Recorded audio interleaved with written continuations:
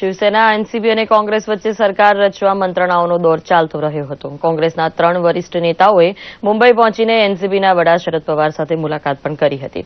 બંને પક્ષોએ બેઠક બાદ પત્રકાર પરિષદ યોજીને જણાવ્યું હતું કે શિવસેનાને સમર્થન આપવાને મુદ્દે બંને પક્ષોએ હજી વધુ ચર્ચા વિચારણા કરવાની બાકી છે.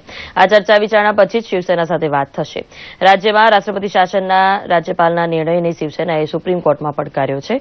મહારાષ્ટ્રમાં શિવસેના છપ્પન, એનસીબી ચોપ્પન અને કોંગ્રેસ ચુમ્વાળીસ ધારાસભ્યો ધરાવે છે राष्ट्रवादी कांग्रेस पार्टी के विधायक दल की बैठक हुई सभी हमारे चुने हुए चौपन विधायक मीटिंग में हाजिर थे मीटिंग में प्रदेश अध्यक्ष सन्मान्य जयंत पाटिल जी ने मार्गदर्शन किया विधिमंडल पार्टी के हमारे नेता अजीत पवार जी का मार्गदर्शन हुआ पवार साहब स्वयं राष्ट्रीय अध्यक्ष जी का मार्गदर्शन हुआ और सभी विधायकों ने एक प्रस्ताव पारित किया है कि आगे महाराष्ट्र में एक पर्याय सरकार निर्माण करने के लिए पवार साहब को पूरी तरह से अधिकार दिया जाता है। राष्ट्रपति रूल आ भी जाएगा तभी सत्ता में कोई भी सरकार आने में वो कोई मना नहीं सक, कर सकते हैं।